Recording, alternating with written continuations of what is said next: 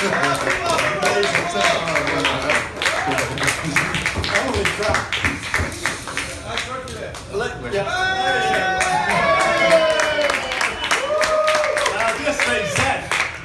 Carlo Ancelotti wants to speak to you after this. There's a, I mean, I know you've got your people here.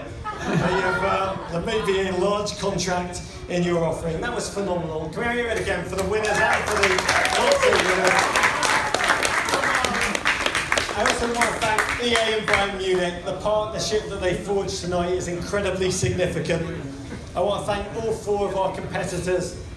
I want to thank the audience who joined us, who really supported everybody. My God, you are good, Zedd. We're going to find out exactly what those moves are.